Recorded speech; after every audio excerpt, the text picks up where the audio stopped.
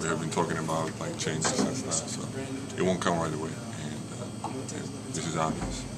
Uh, as you said, you know, there was some, you could see some good things, and that means that, you know, if we play 48 minutes the right way, then good things going to happen. You know, so I think the stress we really play whatever we were practicing last last two weeks, you know, so that's why we got so successful. It's not about like, you know, we made a 20 point lead, but it just felt good, you know, it, it looked good and it definitely worked. So then we kind of stayed that way and, uh, and uh, we just let, let the lead go.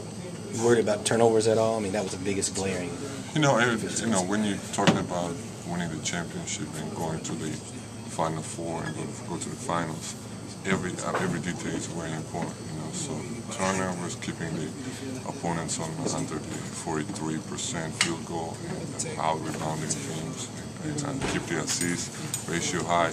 All these details are very very important. You know, if you want to win big. You know, so uh, we were talking about it. So we're really gonna be concentrating during this season what our numbers are. All right. I'm assuming you taking a three on that last play wasn't a design, right? You got fouled. Yeah, we've been working about it. You got fouled, didn't you? No, it wasn't foul. there was no foul. trying to pump fake.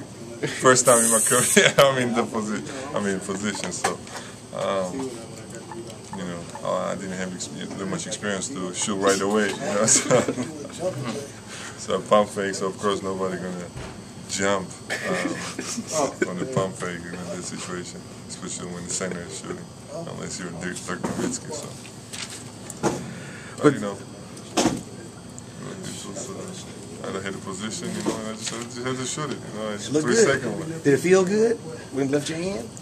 It would feel better if you went in. They didn't go for the pump fake, man.